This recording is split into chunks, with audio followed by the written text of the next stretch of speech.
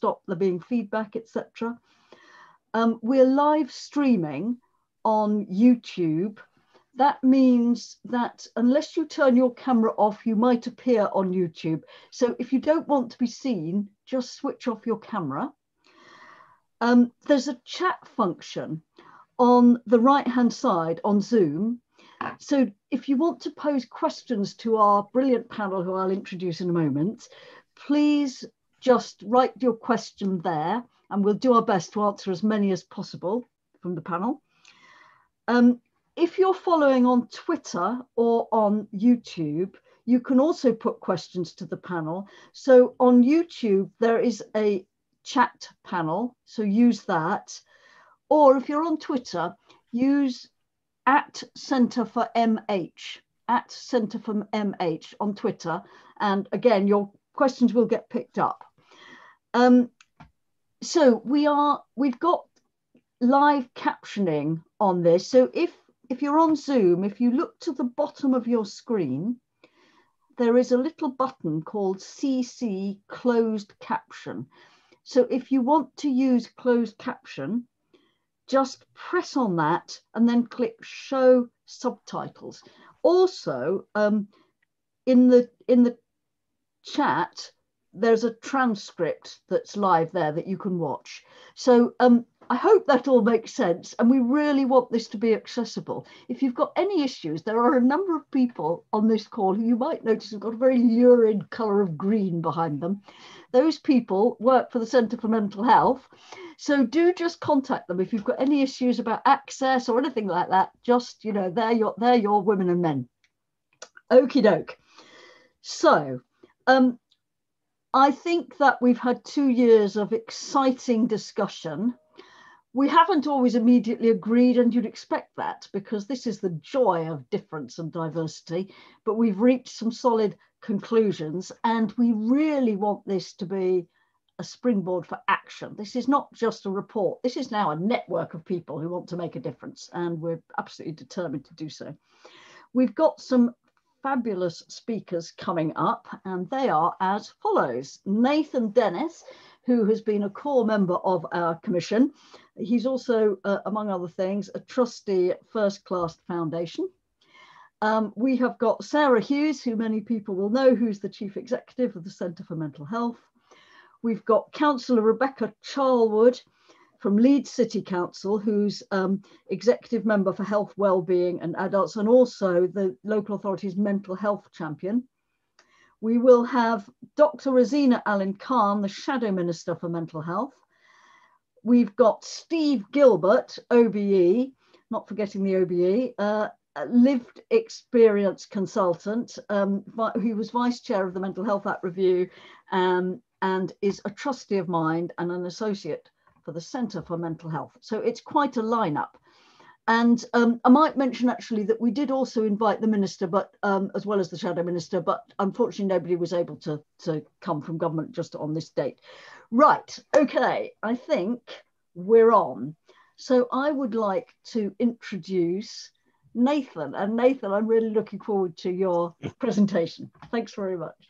Thank you, Liz. Um, good morning, everyone. Um, just as a way of interaction, does everyone just type in the chat, mental health for all. Just bam. Let's hit the chat. Let's get some energy. I know we're online, but we still can be interactive.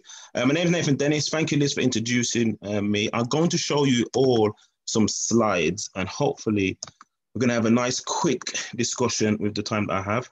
I'm putting my stopwatch on my timer because I get passionate about this. And trust me, if I don't time myself, I might go over time. Well, good, good morning. And um, thank you to the Centre for Mental Health for inviting me to speak. Um, we've been on an epic journey um, as a commission.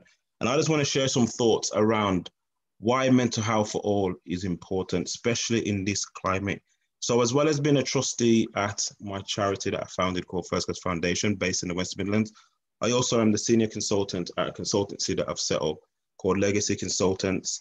And for those who like to follow people on social media and stuff like that, please, please feel free to follow me on social media, tweet me, hashtag me, whatever you do. Those are some information and contact information. But going back to today, um, why is today so important um, as a report launch? And why is equality um, in mental health important?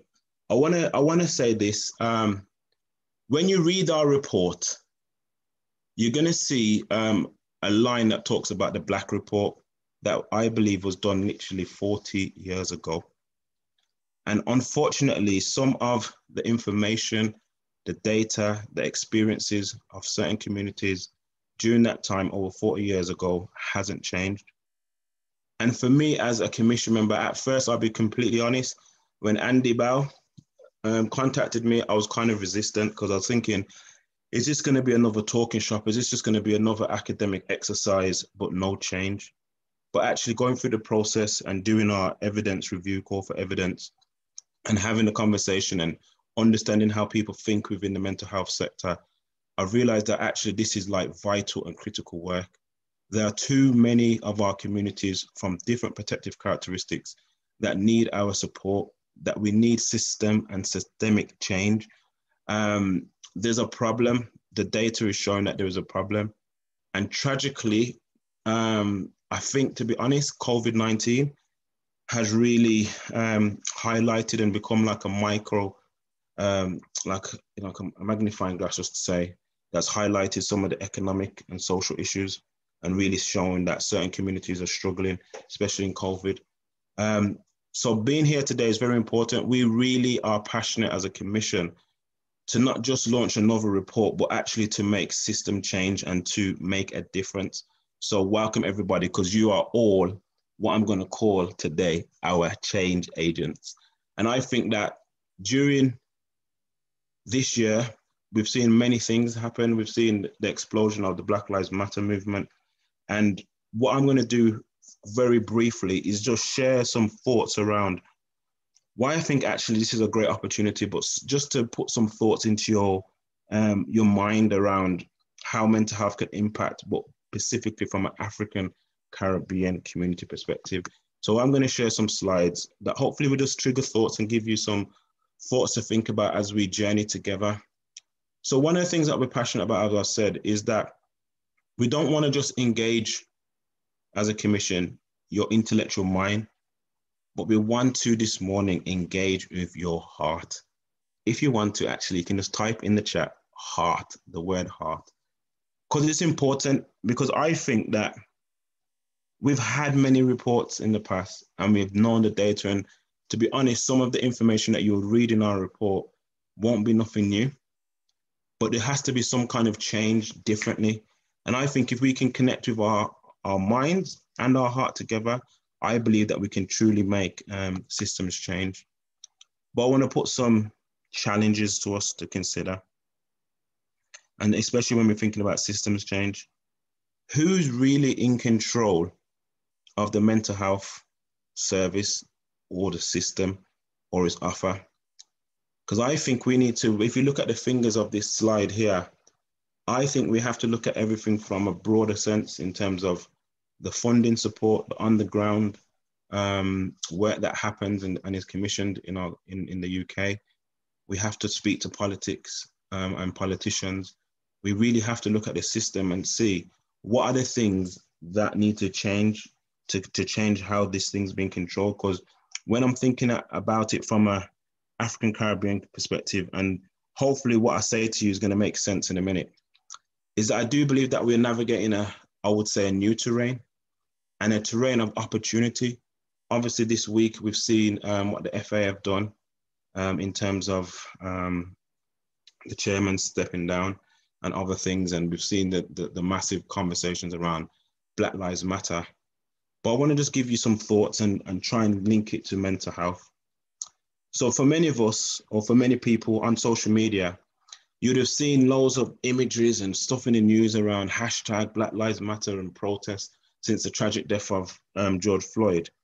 But one of the things I think that people sometimes forget, and this is why mental health for all is important, is we don't understand sometimes the psychological impact that if you're Black, Britain, or British, or anyone, because I know not just Black people was affected by the footage that was out there, but many people forget to see that, like, what we see in terms of the social media footage is just the tip of the iceberg.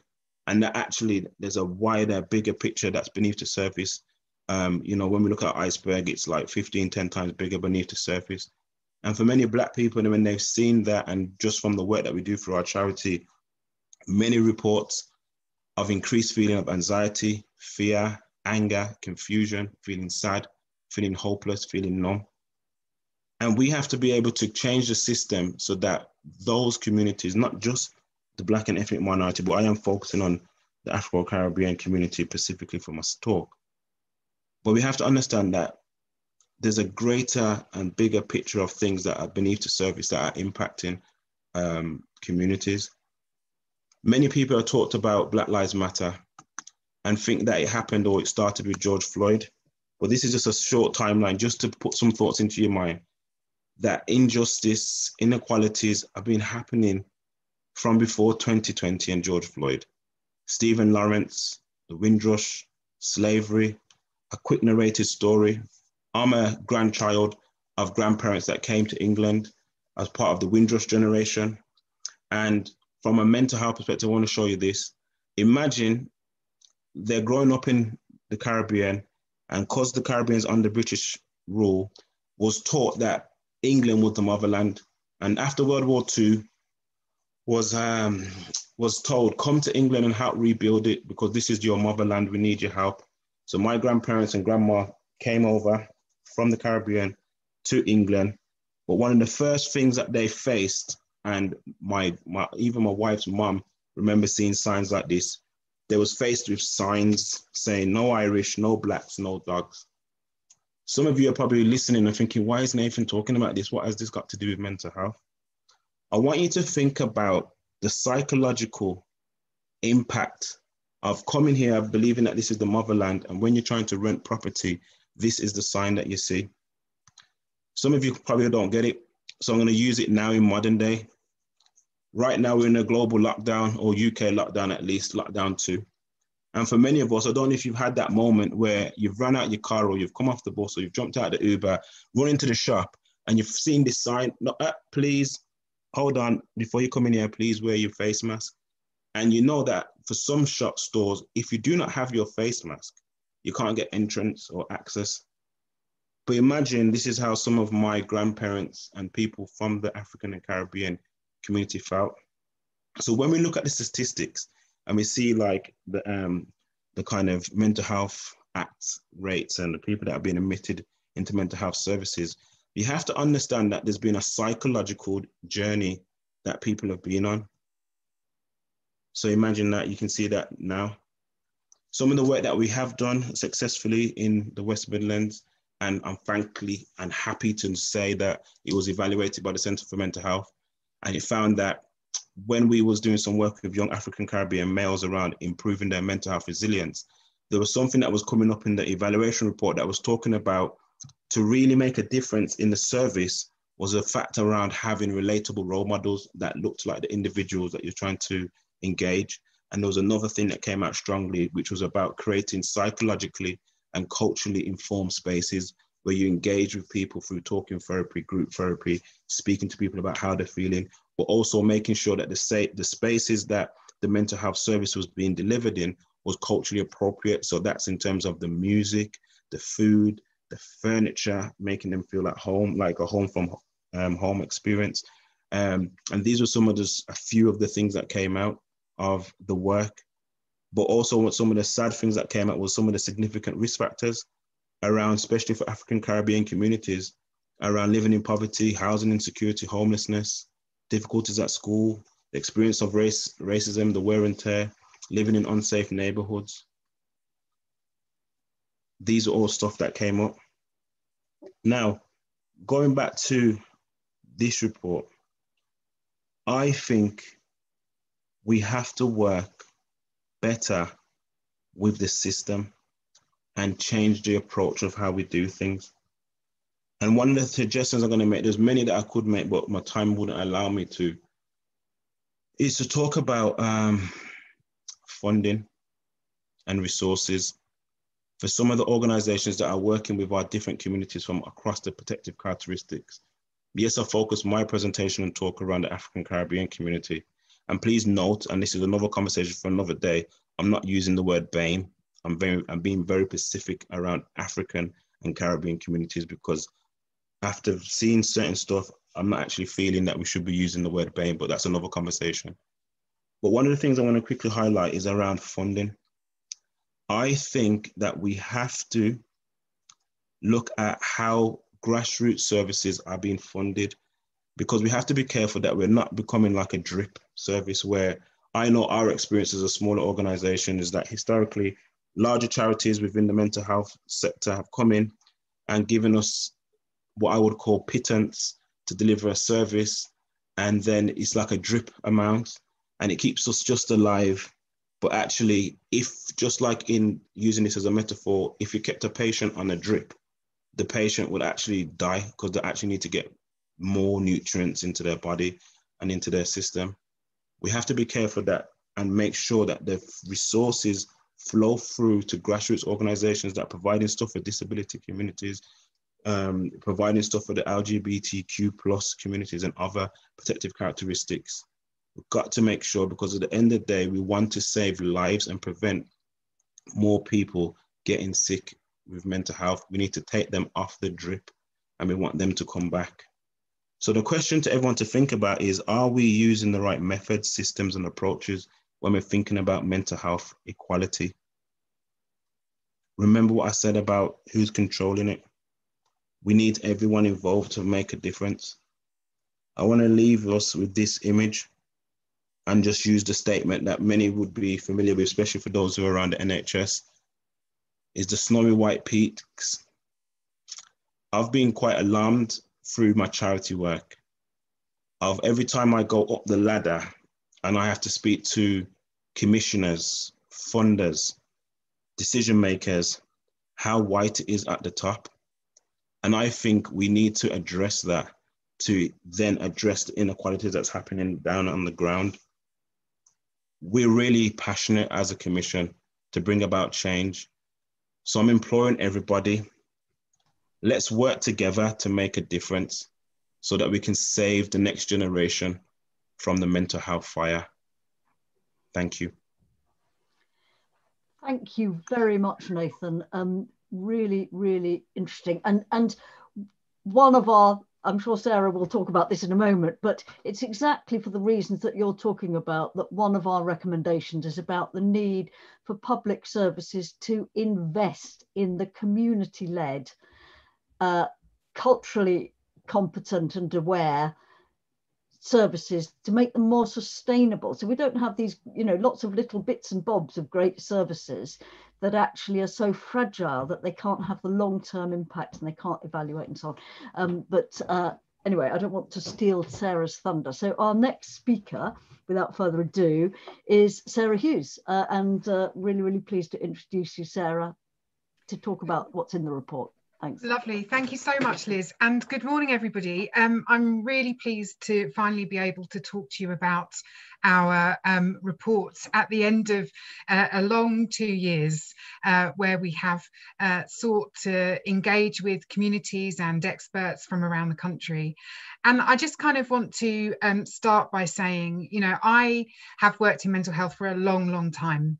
And there is no doubt that uh, inequality has been the insidious underbelly of that experience. Um, and it's really hard to articulate really where we kind of came from at the beginning you know what we wanted to achieve and and where we thought we might go. And and of course we've not really ended up where we thought we would. And that's partly because we wanted to engage with our partners in an authentic um in, in an authentic way. But of course the pandemic created a mobilization uh, and a, a, kind of passion and intention to, to create a roadmap that we really thought might be of help. We're really clear, and I think um, you know it, it's never good to say this when you're launching a report, but our report, you know, it's not new news. It's uh, it's not even, and I, I won't look when I say this, but it's not even incredibly groundbreaking. And the reason for that is because we're coming on the back of decades of discussion, reports, inquiries, investigations. And so, really, when we thought about doing this work, we knew that we were, you know, embarking on a challenge around how do we actually get the information heard. The information is already there, the knowledge, the understanding, we know it. It's about action. So that's why we've created the, the 10 point plan. And just uh, also before I go on, we are in the middle of uh, our second wave of the pandemic, and I know many of the people on this call are dealing with huge struggles, either because they are dealing with um, trying to deliver services, making really difficult decisions, just trying to hold it together. So, um, the centre is in solidarity with you, and we send you all our love and best wishes for the winter to come. But with that said, um, Emma, can you uh, do the next slide for me, please? Great. So so why did we we do this? So um andy and i uh feel that you know this commission was very much um brought on because at the time we thought that the quality of the discussions around equality and mental health were not as sophisticated as we thought they should be. And this was a bit of a surprise to us. We have got some of the most extraordinary uh, activists in mental health uh, equality, you know, some of which are on this call and, and you know, someone uh, later, Steve, is going to, going to speak for us. Um, but we felt that, you know, this wasn't a collective approach and we thought that you know we had got to a point where inequality was just sort of accepted as a fact of life. And we just thought well it's not you know it's not a fact of life. You know we know that it damages people's well-being and causes harm that can last a lifetime that can last generations and generations to come. And we really felt you know it doesn't have to be that way. And we absolutely were not going to collude with that narrative around well you know it is what it is and so our vision uh, is of a society where everyone's mental health is valued throughout their life. And we believe it is possible to create better mental health in society through actions informed by evidence. Now, again, I'm talking about the collective evidence we have generated across this sector, that communities have let us in, they've told us their stories, we've collected data. We've got really robust evidence. And we believe that a mental health system where inequalities are addressed and redressed is achievable. So we're talking about, you know, not just creating new things, bringing on new initiatives. We're talking about really addressing the imbalance that we find in uh, health and social care policy. Next slide, please, Em. And of course, look, you know, um, it's really easy, isn't it, to do presentations, read reports, and write reports. But, you know, people are at the heart of this. We know men and women from African Caribbean communities in the UK have higher rates of post traumatic stress disorder and suicide risk, and are more likely to be diagnosed with schizophrenia. Children from the poorest 20% of households are four times as likely to have serious mental health difficulties by the age of 11 as those from the wealthiest 20% you know these are you know this is stark. And this is not just a uk phenomenon. We know that this is um, a global uh, fact of life right now. Next slide please em. So how did we work? So we uh, were really lucky. We uh, were approached by a uh, Memorial Trust, uh, Elliot Simmons. And we uh, were given the opportunity at the time to say, if we could give you some money, what would you do with it? And you know it's really hard to get funding for this type of, uh, of thinking. And so we, we you know we absolutely said you know this is what we wanted to do and they supported us. So we set up this commission and we were absolutely delighted when uh, Liz agreed to uh, chair the commission and we had an open recruitment for members. We had a call for evidence, over 100 responses. We had visits, we did workshops, we conducted evidence reviews. Uh, we held a series of briefings on determinants of mental health and access to support and experiences and outcomes. So, as we went on throughout the Commission, we were trying to synthesize what we had learned at each stage. Next slide, please, Em. And look, this is what we found the triple barrier of mental health equality. So we found unequal determinants of mental health, unequal access to mental health support, and unequal experience and outcomes.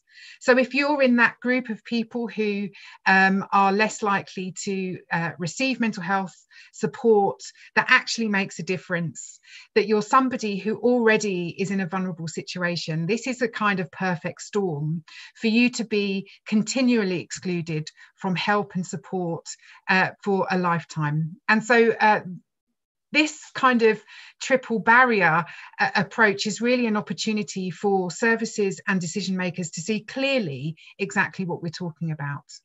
Next slide. Um, so look, I'm probably preaching to the choir here because I'm sure those people who sign up for a, a webinar about mental health equality already have signed up to, you know, um, to, to realise some of this ambition. But of course, you know, this is what causes mental health inequality. Uh, inequality are inequalities in mental health are social and economic. Wealth, poverty, and ec economic inequality are really at the heart of this. And when you look at the graph, you can see that for mental health, you know, the significant impact around income security and social protection, you know, is is is great and is across the life course. In relation to power, this is a really important aspect of what we found.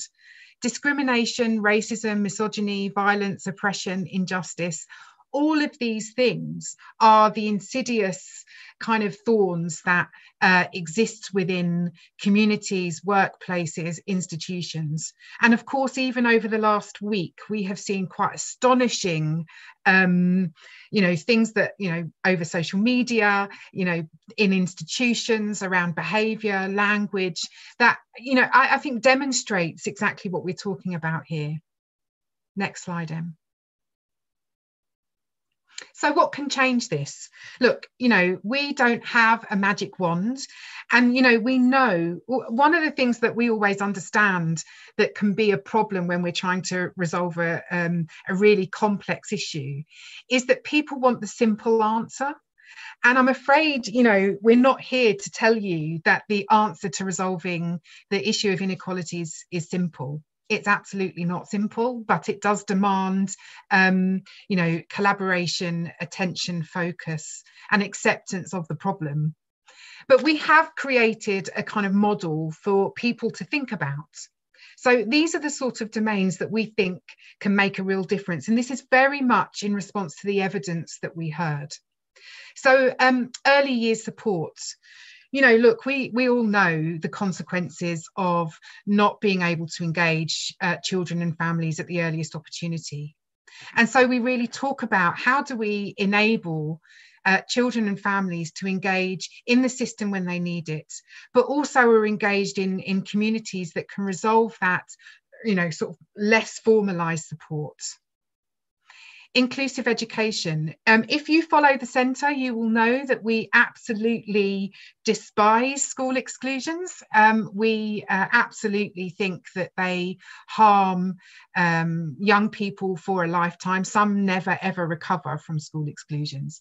And so we really want to see an inclusive education that really pays attention to the vast spectrum of difference that we have in our school system.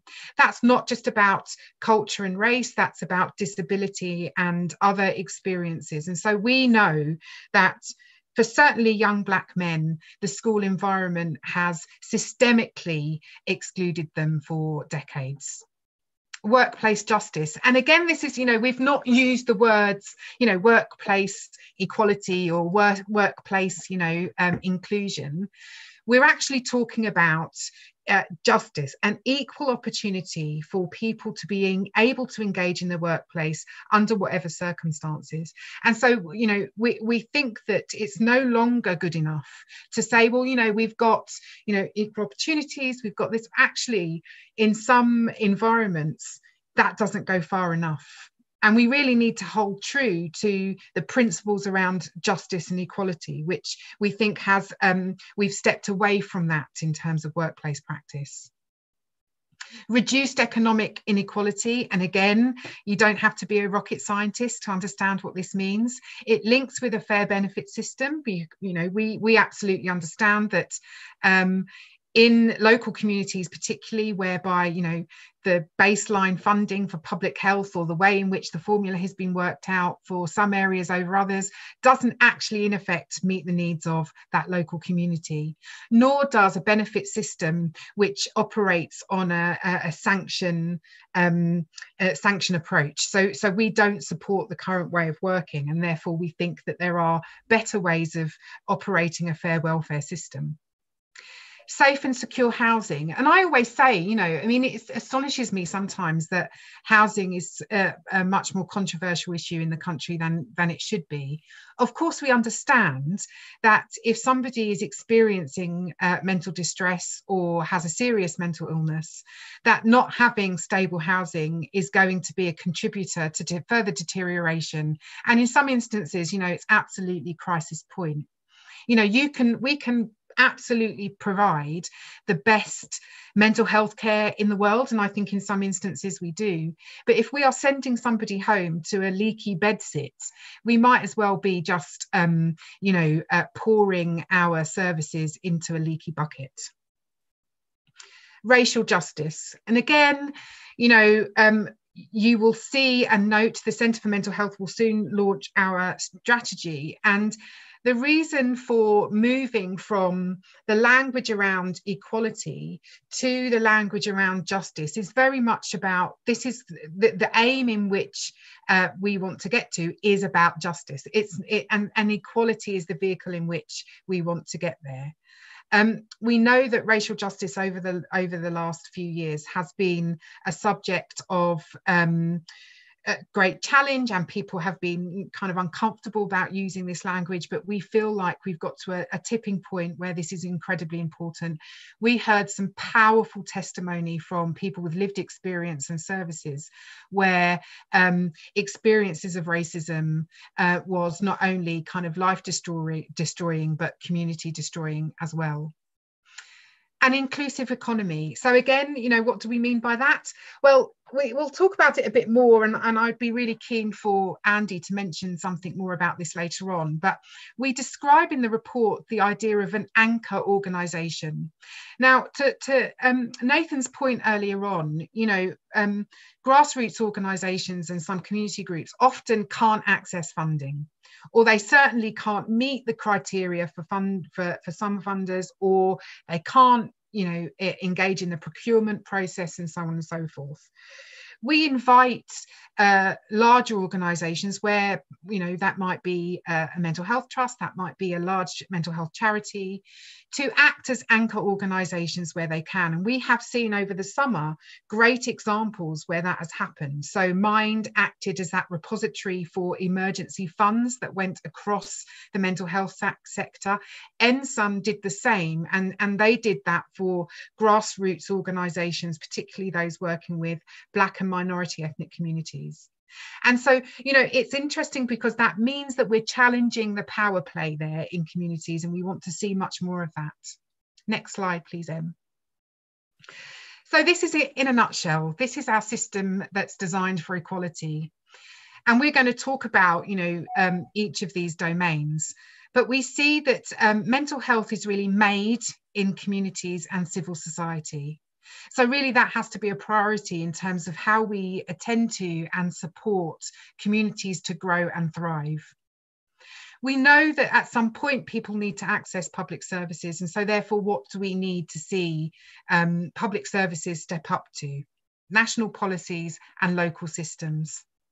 So hopefully we'll be able to give um, local systems an opportunity to, to really assess and think about where they are in relation to each of these domains. Uh, next slide, please, Em. So communities and civil society. As I say, mental health is made in communities.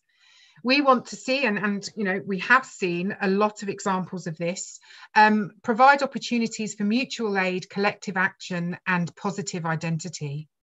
And this is very much, again, you know, um, uh, something about you know that we've seen over the pandemic. We saw mutual aid pop up in many communities.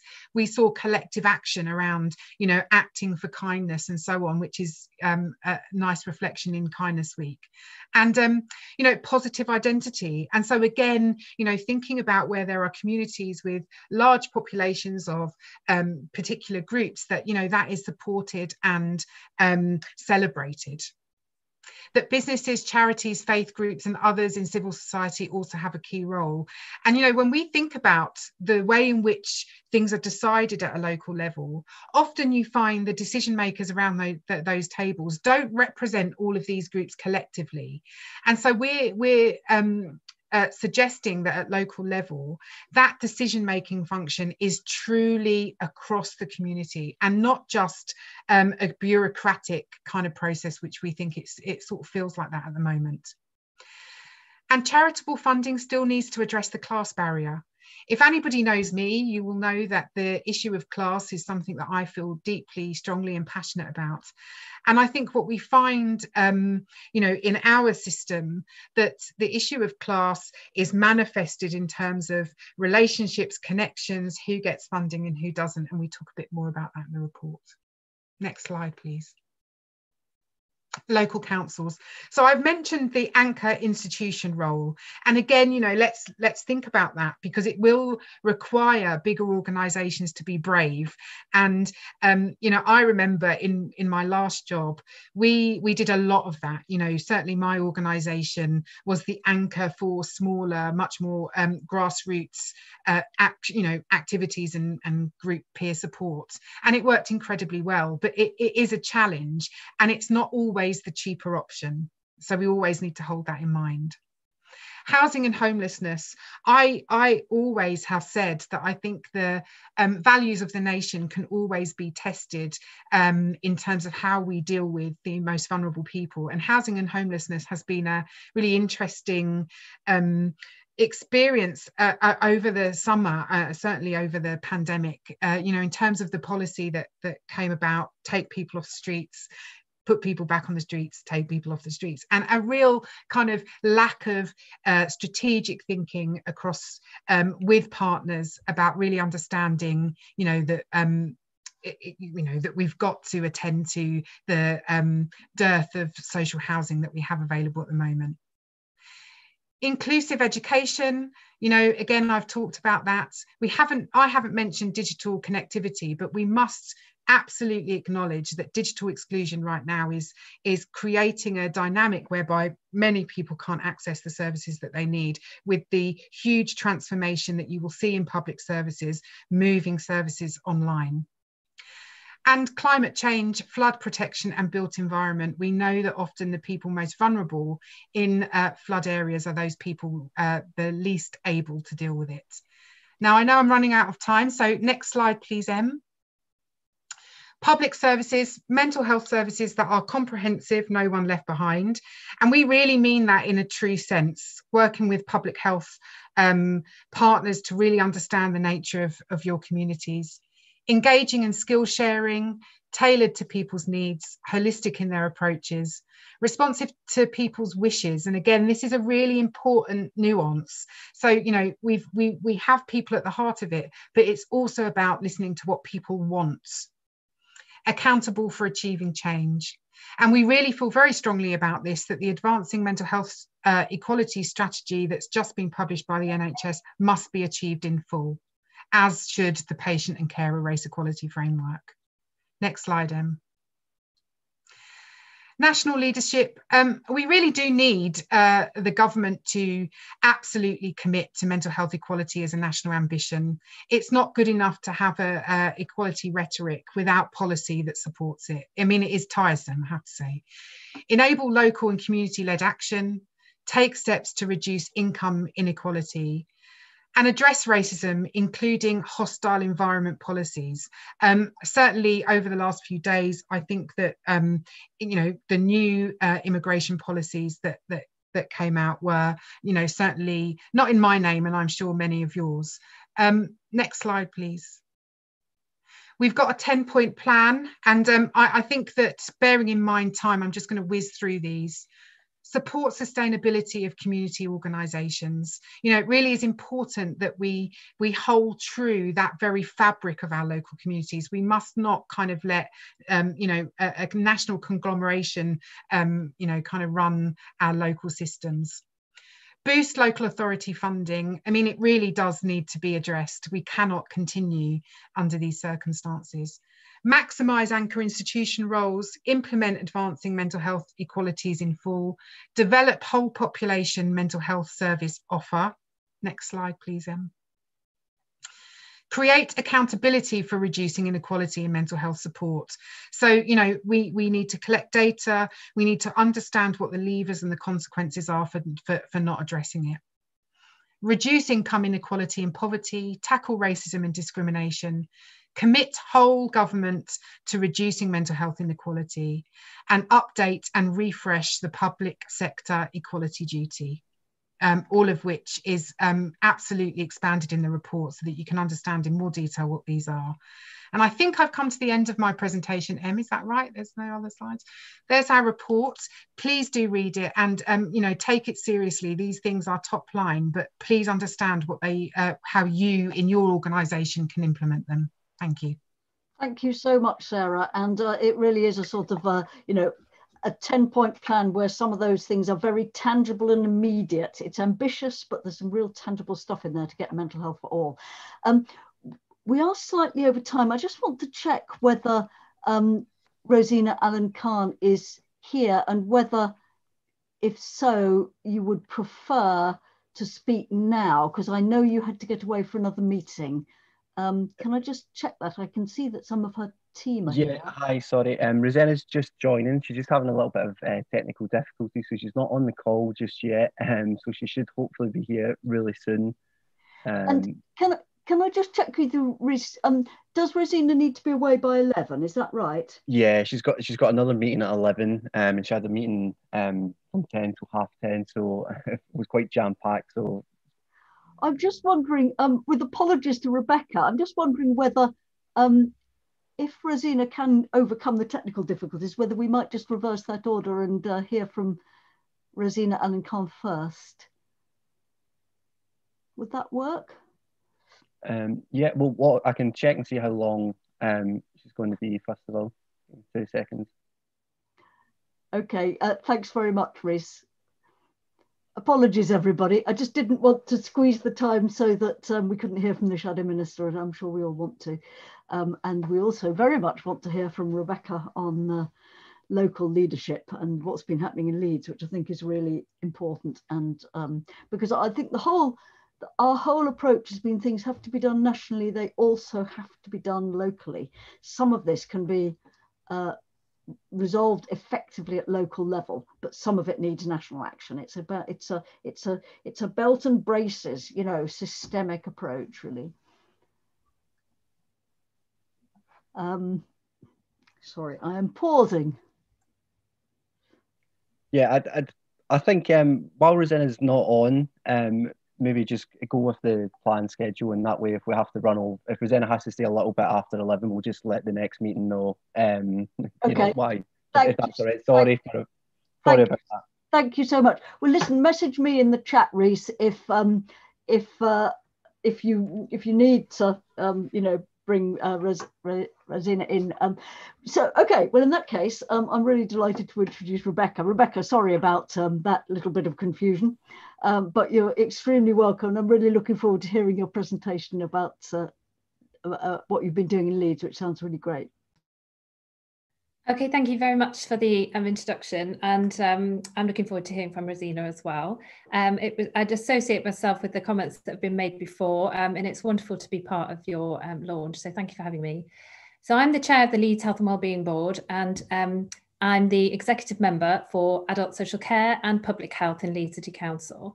Leeds covers a population of 800,000 people, and I'm also engaged at the West Yorkshire Integrated Care System, and I'm on that board um, which covers two and a half million people. So we have quite a big um, uh, impact and um, uh, geography that we cover. And in Leeds, we've had an aspiration for many years now to be a city where people who are the poorest improve their health the fastest. Um, we put that into our mental health uh, uh, strategy and our uh, health and wellbeing strategy as key um, headline uh, uh, uh, outcomes that we wish to achieve. I've dedicated my whole adult career to mental health. I was a mental health worker when I left university, and I've worked nationally with mental health charities as well. Um, so I'm delighted to be the mental health champion for the city. So it's a role I take great pride in, and I try to ensure mental health is considered in all decision making and meetings. We um, we all care very very deeply about mental health in Leeds, and the Health and Wellbeing Board brings together the senior executives from all our NHS trusts and our um, representatives from the third sector, um, representatives from Health Watch, and ourselves in the council. So we have all got a vital role to play uh, talking about our own experiences, where that's suitable, and making sure that we challenge the taboo, um, that the subject of mental health can be discussed, and that people can actually bring their whole selves to work, and that their mental health is as valued equally as their physical health. And I bring personal experience. I had a, a year in a mental health unit when I was a teenager with depression. And I'm also very passionate about recovery and the fact that people can move through these difficult periods in their life and that it should just be an accepted part of our of our lives that people go through. But tackling inequalities is a huge priority, which runs through our whole city approach to mental health. And we actively focus on working alongside communities whose mental health outcomes are some of the poorest in the city. Public health grants focus on areas of the city where uptake for the Improving to Access to Psychological Therapies programme is low, that's IAPT, or where there are higher levels of crime, social housing, unemployment, and mental health problems more generally. Our public health team facilitates a range of cross council activities to influence partners to invest in promoting good mental health. And this includes encouraging and supporting frontline workers across the city to access mental health awareness training, including suicide prevention and mental health first aid, working with the Children and Families Directorate and the Council to help make Leeds a child friendly city where we get in early with good mental health and good connection with parents, Supplying the Parks and Countryside Service, for example, with the evidence base for the positive impact of green space on well-being and embedding safety and suicide prevention into conversations with construction contractors and engineers. Leeds City Council's Public Mental Health Team and Leeds Community Foundation, which is a grant giving body uh, for local uh, projects, have worked in partnership to set up the Leeds Men's Suicide Prevention Programme in order to, for the first time, work directly with men who are Leeds' highest at risk group. The Successful Grants programme is funded to deliver work prioritised in the citywide suicide action plan, and recurrent funding for men at risk of suicide has been prioritised. We also have suicide audits, which um, is unusual apparently, and we learn a great deal from those about where to target our uh, in intervention and resources on prevention. We commissioned the public mental health programme Mentally Healthy Leeds through a third sector consortium who focus their efforts on groups considered at highest risk and living in areas of the city with high levels of deprivation. And the approach has five priorities. So improving mental health and well-being, reducing mental health inequalities, increasing resilience, reducing social isolation, and reducing stigma and discrimination. Our lead provider Touchstone, along with Community Links, uh, the conservation volunteers and Oblong, they bring significant expertise and deliver services in our diverse communities where equalities and access and outcomes to mental health support are often present. They all have decades of experience of working with communities and grassroots organisations who understand people's needs and preferences. Activities centred on social interaction or creativity, art, music, food, or exercise are, often, are offered to help communities engage with underlying messages about keeping mentally healthy.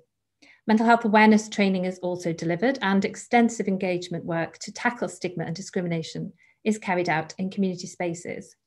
We often find people engage with services that aren't badged as a mental health service, that actually supports their mental health um, in a more well-being focus.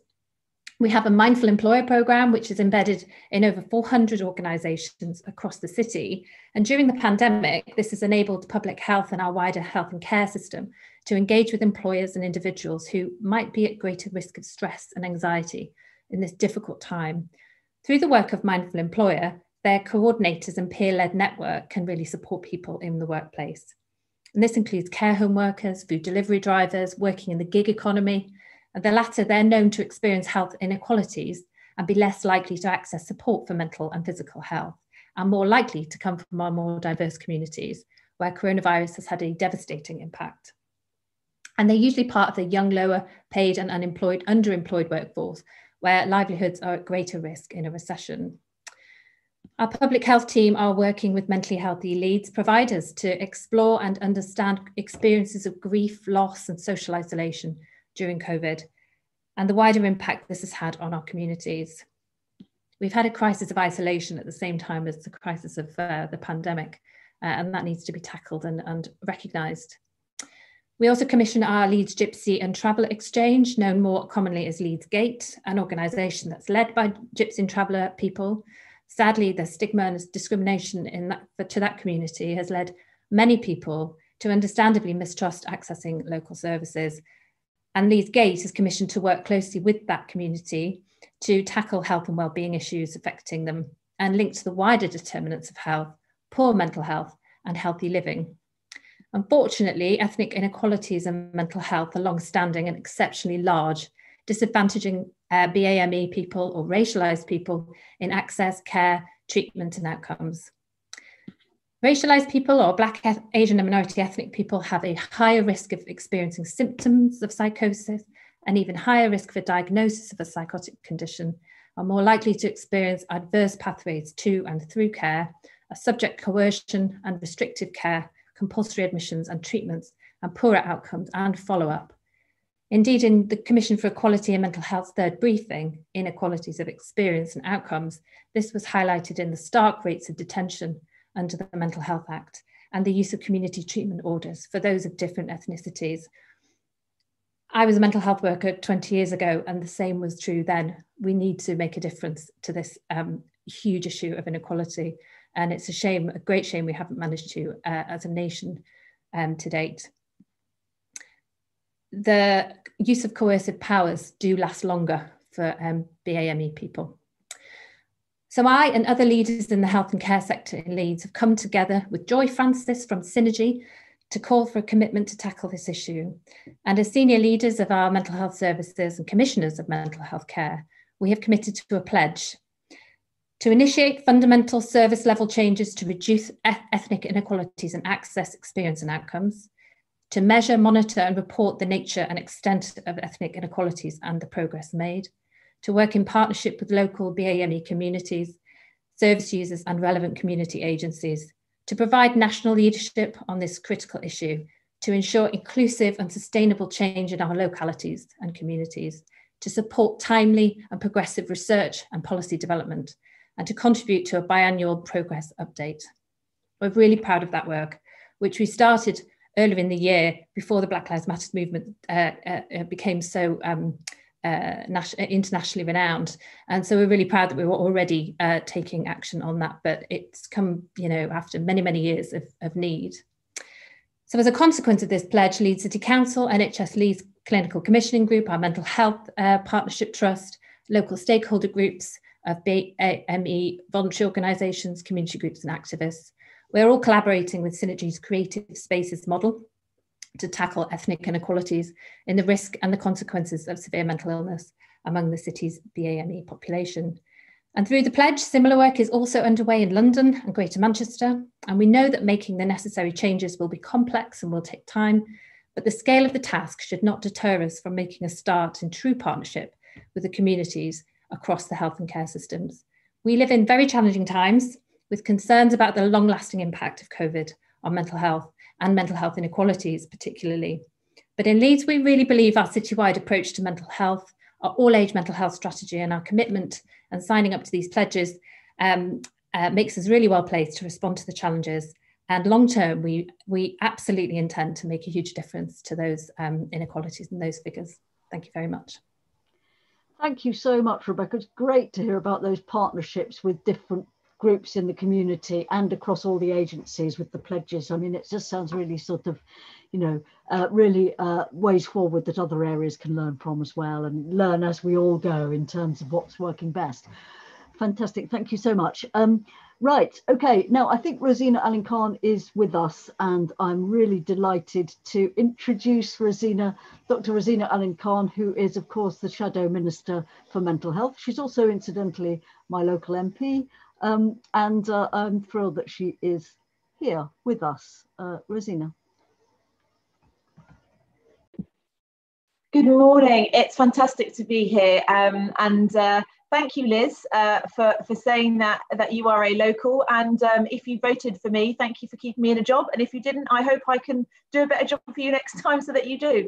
Um, it's, it's an absolute honour to be here. And it's a real pleasure to follow Rebecca as well. I think when we talk about mental health, it's so powerful when we have advocates who also are very open about their own experiences. That takes an incredible amount of bravery and also really um, comes from the heart. So, so thank you, uh, Rebecca, you know, for talking about your own your own experiences. And I'd like to thank the Commission for all the work that you've done over the past two years to bring attention to and provide evidence-based solutions for, for mental health inequality. And when I was given this job, it was a job I really wanted because for me, on a personal level and on a professional level, uh, still practicing as a doctor, I have been an A&E doctor now for 15 years. It's, it's making me feel old, actually, knowing that about myself. But um, never more important has it been than to talk about mental health and inequalities than it is now. We know that we have had a difficult time over the last 10 years, especially when it comes to funding of mental health services. We also know that existing health inequalities fuel mental health inequalities. And we also know that adverse childhood experiences are huge drivers of mental ill health in later life as well as in childhood. So we've seen a perfect storm really over the last decade of of significant underfunding in all sectors, which have meant that now more than ever, it's important that we're having discussions like this and work is being carried out like this. And so I'm super proud to be part of this. And we all know that mental ill health is something that can affect every single one of us.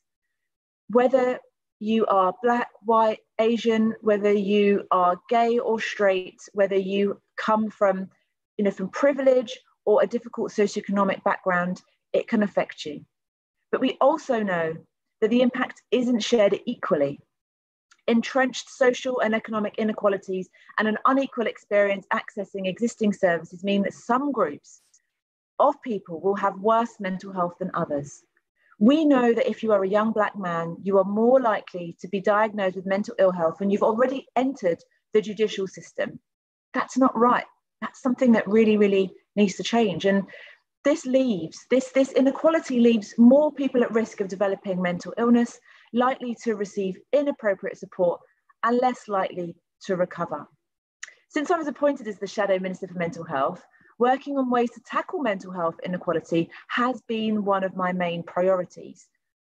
This obviously comes from, and I alluded to it earlier, my, my work in A&E, where I've seen firsthand the impact of poor housing, um, what it does to people's physical and mental well-being for families. I've seen racism and discrimination, how that can push someone's mental health further towards crisis point. I see people coming in in the middle of the night when I'm doing a shift who've been unable to access services and are now so desperate. I've seen how poverty and financial worries negatively affect the state of mind of children and parents alike. But growing up where I have in Tooting, growing up at a time where living through poverty, where many of my friends were the same as me, I've just seen how some of my friends and people very close to me, how their mental health was impacted and the very real life struggles when it comes to accessing help and support. And I think that it's really, really important that we have very honest conversations and bring forward very honest examples of people who have been let down. Someone very close to me, a young black man, felt suicidal, had been asking for help for a year and was put on waiting list after waiting list after waiting list. It wasn't until he tried to take his own life that people actually stood up. We can't get to that point. We can't get people who are crying out for help to the point where they've waited so long that they then go on and actually commit a crime and are then locked up for the rest of their lives to the point that they will never go on to fulfill their potential. Their whole families ruined and torn apart. By tackling the root causes of mental health problems, we prevent issues from developing in the first place. And by ensuring that services are accessible and appropriate for everyone who needs them, we give everyone the support they need to overcome their difficulties. so many people, particularly in our in our LGBTQ plus communities, say that they struggle to access services. They say that they actually develop mental ill health very early on in their school years. And they say that when it comes to accessing support, they would really like to be seeing people trained up and supported to deliver services who have similar lived experiences to them. And I hear a lot being said in the same way from our BAME communities. And already entrenched inequalities are being deepened by the COVID 19 crisis. The disproportionate impact of the virus on people from BAME communities, the less financially well off, and the most vulnerable in society undoubtedly increases mental health risk factors. And the disruption to services, which for many were already difficult to access in the first place, means that less and less people will get the help that they need. And as we go through the second spike and look to the recovery period, addressing this inequality must be a priority for the government. And doing this not only improves people's lives, it benefits our economy and society at large, but it is everybody's problem. It is everybody's issue. It's everybody's societal responsibility to understand that people are mentally healthy. And it's very easy for people to say, oh, well, I haven't experienced depression or anxiety, therefore it doesn't really matter to me we have to do everything we can collectively to make sure we fight for service provision for those who need it the most because it's our collective duty, it's our collective responsibility. And the Commission's findings make it absolutely clear that mental health policy cannot be created in a silo, and I couldn't agree more. Government must work cross departmentally for a combination of health, social, and economic policies to truly tackle mental ill health and there is no one size fits all when it comes to mental health support. Central government should work with local authorities, community groups, and regional public health teams to ensure support is appropriate to the individuals receiving it. The approach has to be proactive and it has to be preventative. It can't be too late once a young person has already been failed by the system.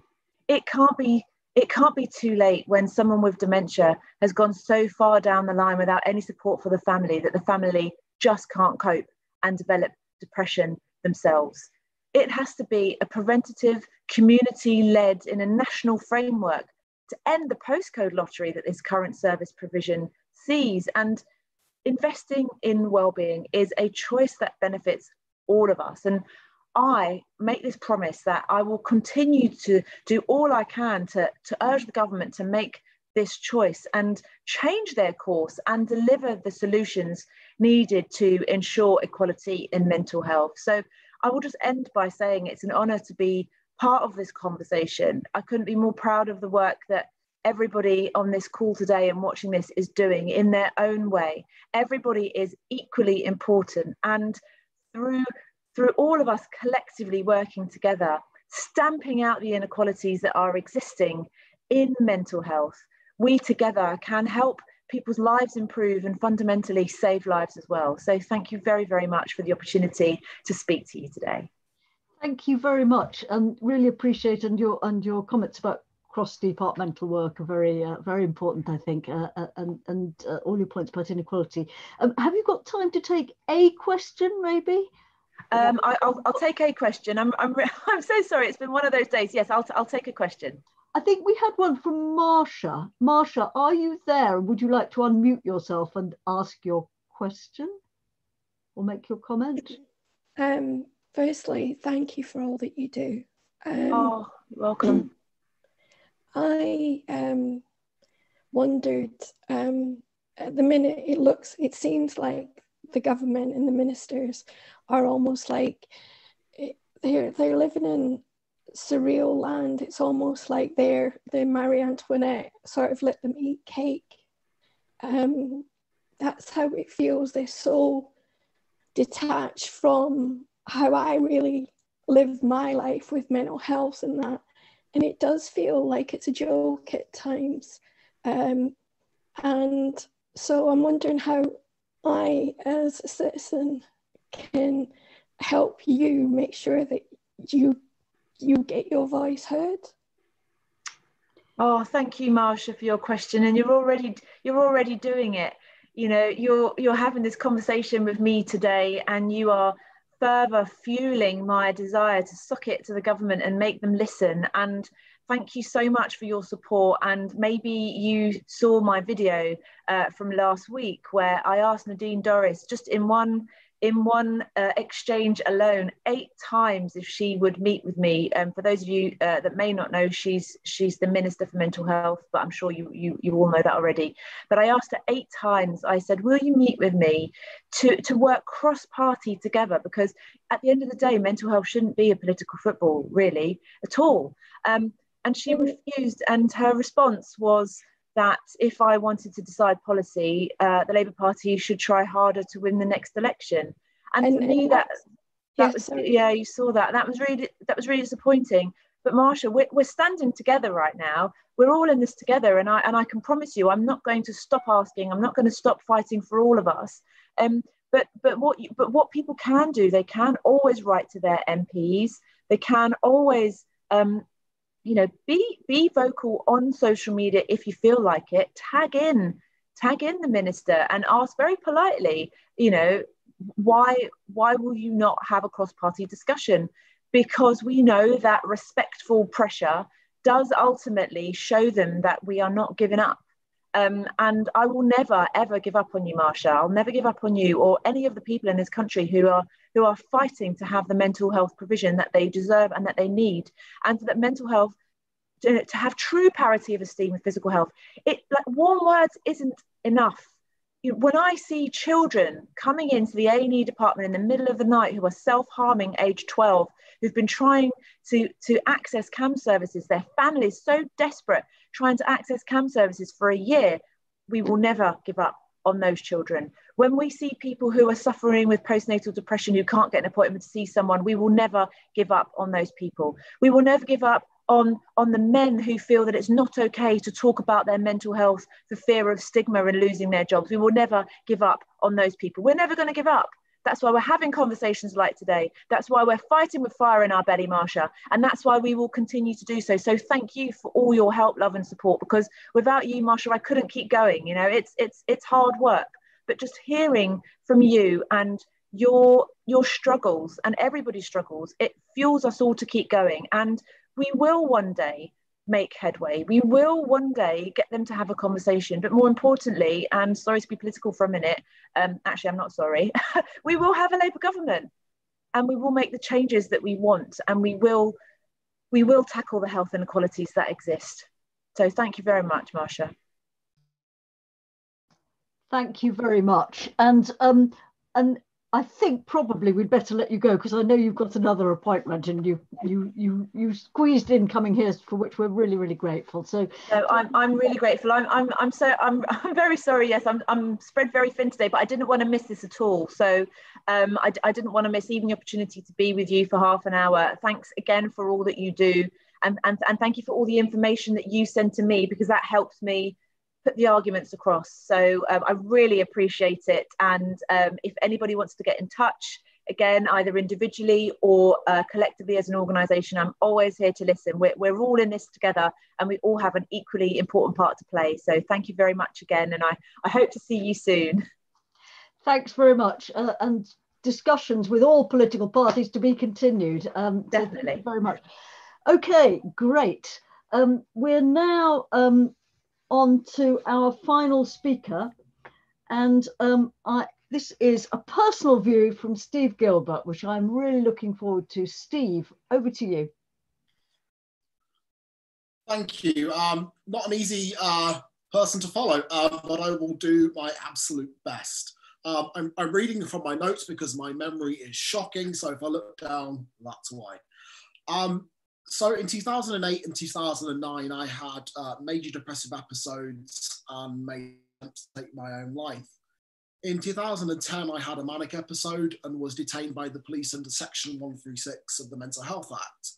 I was then subsequently detained under Section 2 of the Mental Health Act um, and spent a total of 21 days in hospital, which is short by many standards, but is absolutely long enough to know the impact that detention can have on one's life.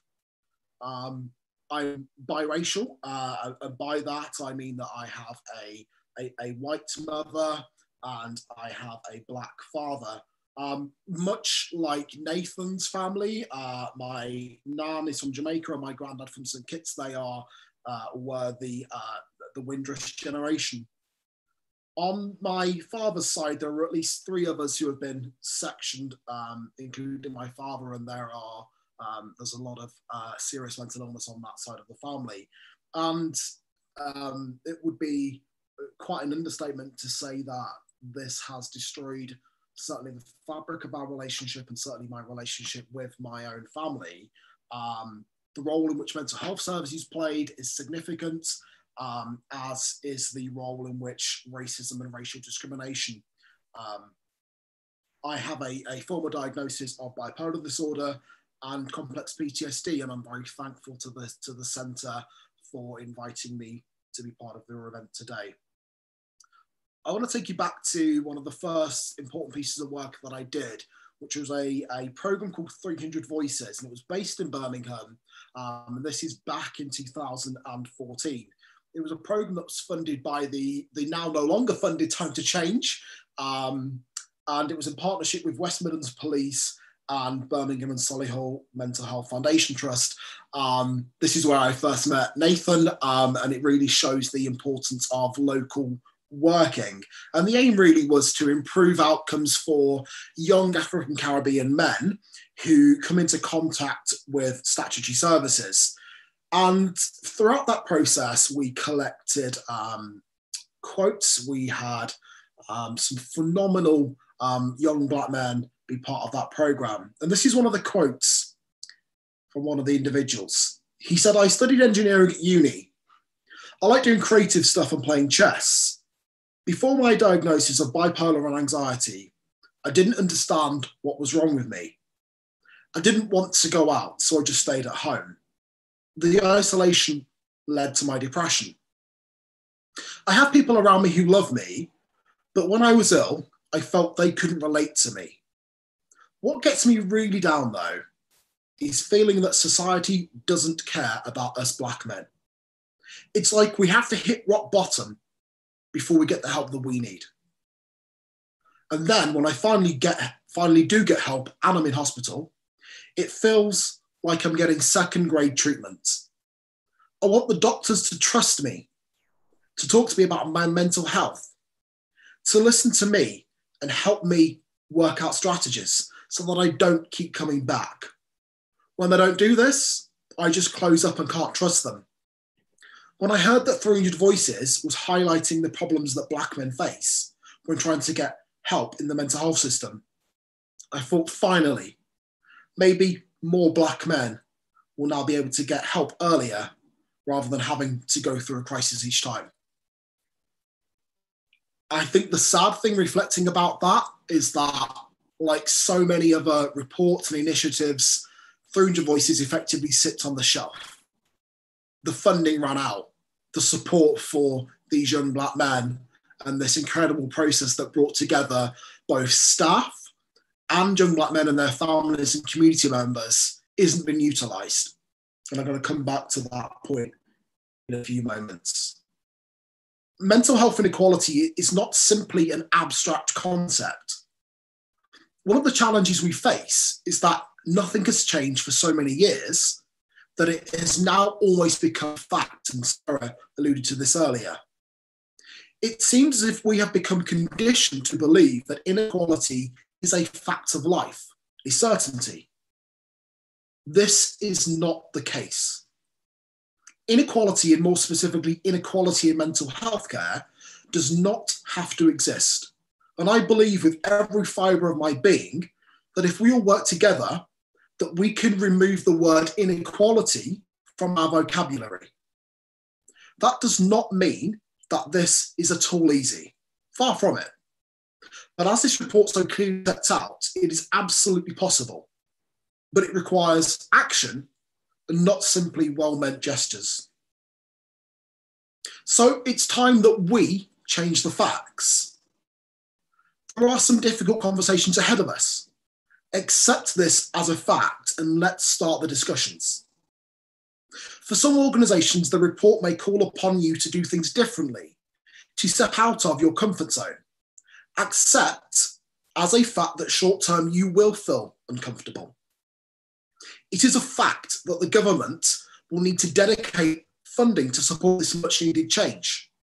I sincerely hope that they hear and embrace this report and the message it contains. It is a fact that we already have some of the tools we need to create real change.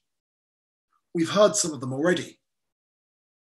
It is time to roll up our sleeves and to use these tools to go and do the work.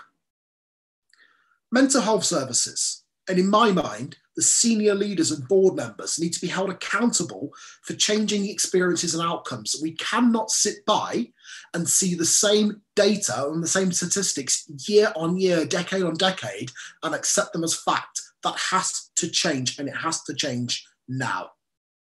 It should be a fact that no matter the circumstances you are born into, that everyone should benefit from high quality mental health care at the earliest opportunity and to be supported to live a rich and fulfilling life.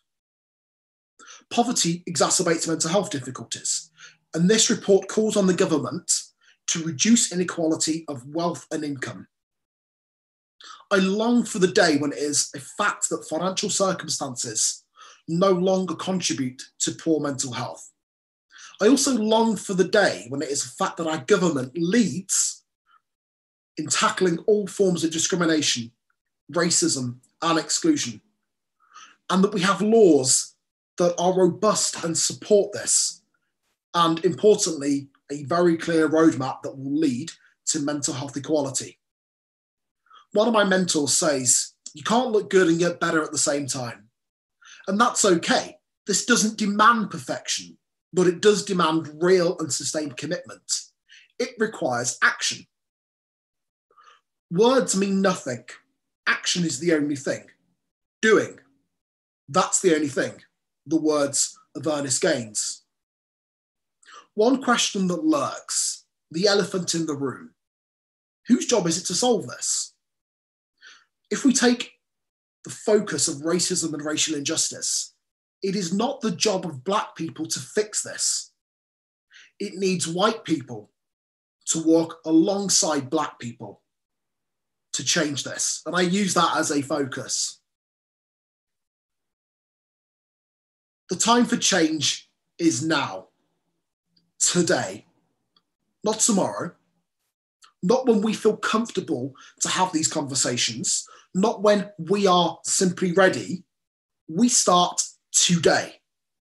Now, I ask everybody watching this webinar to pick up a pen or to pick up a digital device and to write down one thing that you will do today, one action that you will take that will move things forwards. And we're not moving on until I start to see that happening.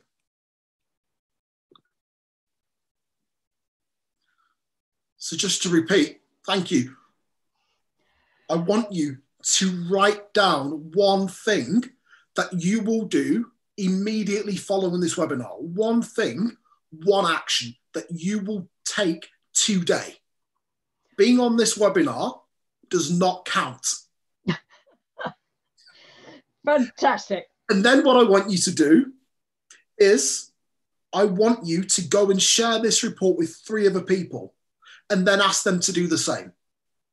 Every single day that we wait to take action is another family that endures pain, another individual who, through circumstances of birth alone, will not receive the care and support that they need. This does not have to be a fact, and today we can write a new story. I've referenced 300 Voices, and along with my incredible and brilliant teammates at the time, we coined the phrase better must come towards hope. And I am hopeful that this report can and will lead to change. Thank you. Thank you so much, Steve. And and I think the challenge to us all to to be alongside, you know, I as a white woman want to be alongside um, black men and women. Um, and we need to extend that as well to, you know, gypsy and traveller communities and across all our differences, we all need to do that. Um, and thank you for the call to action because that's what this is all about. This is not about the words on the page. It's about what we all get up and do in our different positions. So that's uh, fantastic. I want to open this up. If anybody wants to share uh, a suggested action for themselves or anybody else, that would be great. But I think we do have a couple of questions. I think we've got one from um, Phil Mawini, and we've also got one from Atif Chowdhury, I think. Um, would you like to ask them yourselves? Um, I'm speaking now to Phil Mawini, if you're here. Yes, hello everyone. My name is Phil Mawini. I'm a policy manager at Independent Age, which is an older people's charity. There's a quick question for um, Councillor Rebecca. It's just one of your specific points about the grants that you were giving out to try and boost the uptake of IAPT talking therapy services. Um, we just published a report on mental health and later life, and that included looking at the low levels of uptake of talking therapy among older people. So what you've done may or may not be relevant, but I just wanted to know how that worked and whether it had much of an impact. Thanks. Thanks very much. Uh, Rebecca, do you want to respond to that? Yeah, thank you for your question. Uh, that's a really interesting uh, question, actually. Um, I chair the um, uh, Aging Well Board for the city, it used to be called the Best City to Grow Old in, and it's one of our um, key best council sort of um, uh, uh, things that we want to be an age-friendly city, and we've sort of, you know, really, and I'm really proud of that work. So we do an awful lot around um, well-being and supporting well-being in our older population. Um, I I'm going to suggest that we have I get back to you individually about about that because I can get you some proper information that might help you with your um, with your work um, if that's okay. If I could get your um, contact details, yeah. But I, that's a really good point about access to um, talking therapies for older people. It's not something I've, I've personally been involved in, so but I'm sure there's stuff going on, and if there isn't, we need to make it happen, don't we? So I'll get your contact details. Thank you very much, Rebecca. Right, okay. Um, Atif Chowdhury. Hello, hello everyone. Uh, thank you for the talks. They've been really, you know, engaging and, and if not quite moving. Um, I guess I, my challenge is, I don't know if anyone can answer it, but was, it's quite disappointing to hear about the, the lack of cross-party talks on this uh, and the terminology around the political football was used. Um, it's, it's quite deeply worrying. When I think about it, I think about the issues that what that means in terms of migrant communities coming across trauma in refugee status and ref, a lack of refugee acceptability, trauma through the media and, and the demonization of people coming across trying to safeguard their families. But also think about the legacies, the legacies of post-colonial legacies, um, be it partition, where two and a half million people were killed and then having to build new lives, including lives in the UK, and how their children have had to survive people piecing together that kind of dynamics. And of course, the legacies around Africa and what that means. And fundamentally, the, the power structures of systemic racism. But what worries me is the lack of cross party talks was stark for sure. But when I sit and think about that, what does that actually mean? It means there's a lack of cooperation in the political part- partners, and there's a lack of cooperation in the joined up policies that are available. But it also says something else, which is which is being touched upon. I think Steve's touched on it powerfully, and so has Nathan, and Rachel did as well, uh, and in particular uh, Rosena. It, the systemic racism that is so prevalent, and it's on the buildings, the structures. I live in Brighton. It's a wonderful place of equality, but it's built through Georgian slavery, sugar slavery in particular. These things about belonging and safety, they are noticed by children uh, they're felt by children at a very young age. So when a political party doesn't look at the systemic role of racism around mental health, it is dangerous and it costs money. It will cost money long term, it will cost money in maintaining uh, social economic access to people coping with trauma and long term isolationism. And you sort of find yourself wondering, even if you didn't believe, believe in the systemic racism, the money side of things should speak to you. The social economics of not wasting money should speak to you.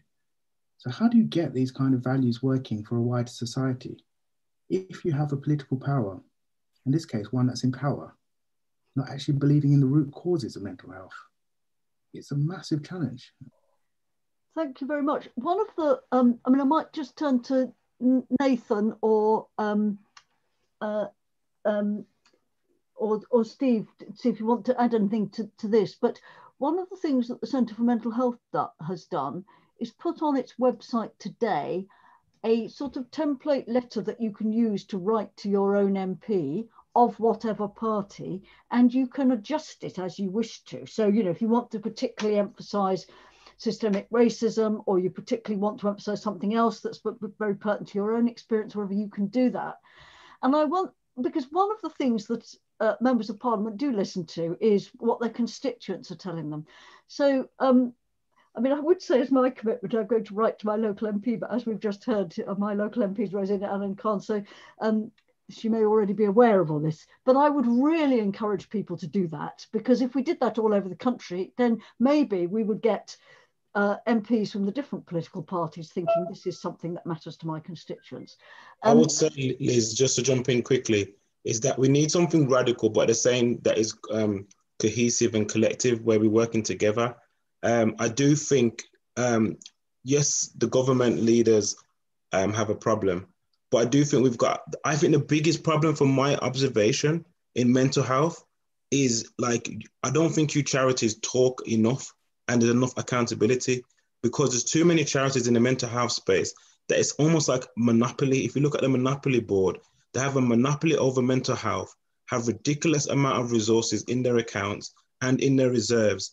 And then when they want to commission services for people on the ground, really are giving some, when I say some like very, very offensive amounts to like do the on the ground work with the different people on the ground. And it's just ridiculous. And it's like everyone in these organizations, majority is all white and the class perspective as well, classism. And we have to break out of this cycle because for me, and why at the near the end of the commission, I was getting a bit tired, even though it wasn't nothing personal with a fellow commission members. But I was like, we need to get out of this cycle of academic just rigor. It's like all we're doing is just doing academic evaluation to say the same thing. Middle class people evaluating the situation, get money to evaluate. And it's just like this crazy cycle, but no one on the ground and change is happening. So sorry, Steve. I know you want to jump in. No, no, no. I mean, I, I, I mean, I completely agree, and and I'm I'm a trustee for one of the largest mental health charities, Mind. Um, I'm also a trustee for one of the smallest mental health based charities, the Association for Mental Health Providers. And the, the economies of scale are just com- completely different. Um, so it's a really tale of two stories. And, and I think there's, there's um, that there's a lot more that can be done there, as, as, as, as Nathan has said. I think the other thing, and it always comes back to what Liz was saying about, about letters, I think uh, the, I think the theme here is modeling the behavior that actually creates influence. And I think that letter templates are a great way to start that. I think what I know I've benefited benefited from, and I'm sure that uh, Nathan would say something similar, and I'm sure actually, if we're all honest, we've all benefited from is mentoring and learning the lessons and being led by people that have gone before us. I know that there are multiple people that are on this call right now that if I was struggling with something, I can pick up the phone and I can call them. Um, be that I be that I actually kind of want um, some very specific kind of almost industry um, support, but it also if i just want some moral support and i just want to you know vent and scream at the world and then they help me package it back up again so i think sarah and, and in the report they talk about anchor institutions about supporting smaller organizations i think in some respects alongside that to kind of add to that granularity you know i know how hard me and nathan have had to fight to kind of get to where we are we're both from Birmingham. You know, Birmingham is a huge city. It's got, you know, ridiculous number of resources. Yet we have really had to fight, and there are lots of people who haven't quite found the same breaks that me and Nathan have, have found, um, who could go on to create amazing things. And it doesn't require money. It requires a bit of time. It requires a bit of nurturing. It requires a bit of support. So again, there are dim- dimensions to this that haven't quite come out yet. Um, that I think will have huge um, implications because actually, I do believe, certainly on a local level, that our politicians want to listen, that our business leaders want to listen, that our health leaders want to listen.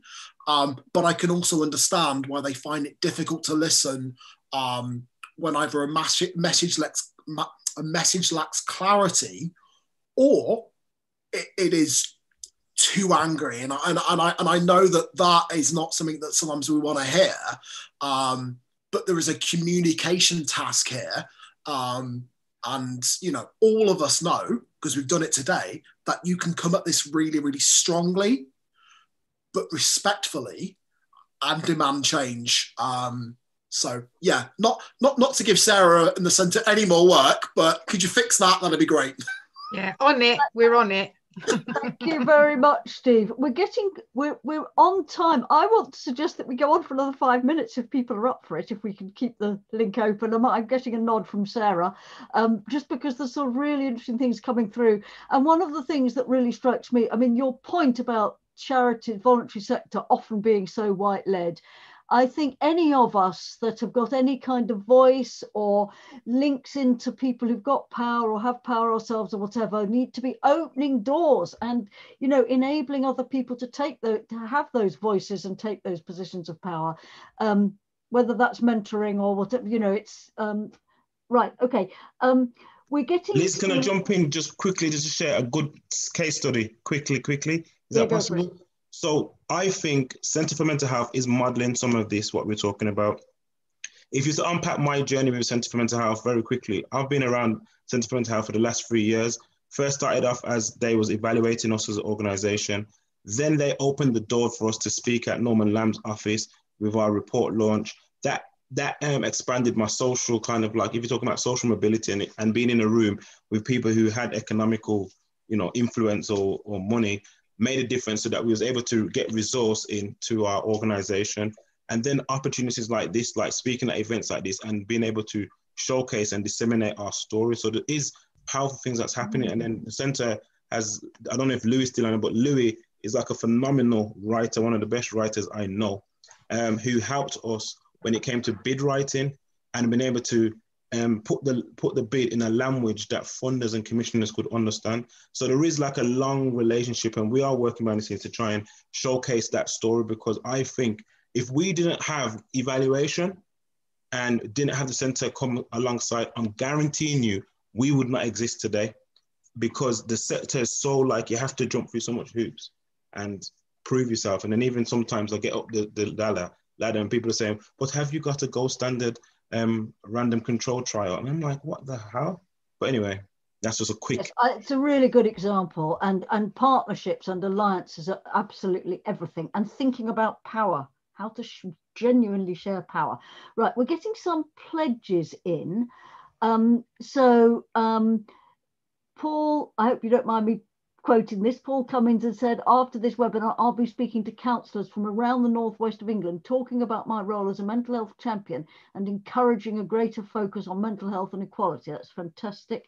Um, uh, Steph Delahaye from Sheffield, we're developing more genuine collaborative user and peer-led co-production with statutory services across the diverse range of community groups I'm wanting to think we've got a question but I'm don't I'm sorry I don't think we've got time for the question how do how does the system really share power and resources I think we've just been talking about that um, one more question from Christine Burt. How are we going to ensure mental health for all includes people with learning disabilities? Would anybody like to answer that? Sarah, maybe?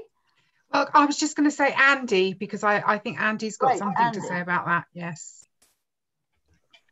Andy? Hello. Um, yeah, I mean, this this is really important, and, and you'll know that, that we support the Children and Young People's Mental Health Coalition, uh, and their report last year really raised the issue of, of uh, the very high levels of poor mental health among people living with a learning disability, and and uh, uh, I think learning disabilities and neurodevelopmental conditions of all kinds, there are very, very high levels of poor mental health and it's very poorly responded to. Uh, and I think this is where a system designed for equality, again, we need to listen to what people say they want. That's the first place. We need to make sure resources are put into services that meet the needs. Where necessary, they can be adjusted uh, to meet someone's needs, whatever they may be. Uh, no two people will need the same adjustments, but again, we can do this. Um, and if we place the resources where they're required in order to, to understand the different things people require, then, then, I think we can begin to have a system that actually answers this. And, and uh, inevitably, of course, people with learning disability are not homogeneous. Uh, there are, are, a whole range of different things that intersect as well, uh, race, sexuality, uh, identity, gender. Uh, and this is all part of the picture and, and, and why the kind of one size fits all type uh, approach just gets us absolutely nowhere. Thank you very much. I think probably we should now bring this to a close. I would like to, first of all, thank our fantastic speakers. I'd also like to thank the Elliot Simmons Charitable Trust for supporting this work. Um, and I think it's been pretty clear from what people have said that this is not the end of a pro. This isn't we've done the report, you know, job done, on to the next thing. This is the beginning of something. And I think there's a real appetite. Uh, I'd like to commend the Centre for Mental Health, I've been working with, great team, and they're serious about this. So um, within that seriousness, there'll be a lot more communication, there'll be a lot more networking, there'll be a lot more working together in partnerships to make this real and to make sure that we do end up with real commitments to change. And the one thing that that excited me in the last couple of weeks was the British Social Attitude Survey that just came out and said two thirds of the British public, or the English public, I think it was, said they think that the level of inequality in this country is unfair, unfair or very unfair. There is an appetite out here in our communities to change the level of inequality. Um, people have noticed it because of COVID. You know, I think there's a moment here to really grasp and make some headway. And we need to do practical things because it's a huge agenda, but we can, and together we really, really can. So huge thank you to everybody, and uh, let's all keep in touch and make stuff happen. So thanks a lot. Bye, everybody. Bye bye all. Bye bye.